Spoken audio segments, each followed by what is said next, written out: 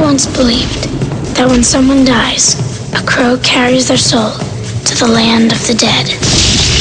But sometimes, just sometimes, the crow can bring that soul back to put the wrong things right.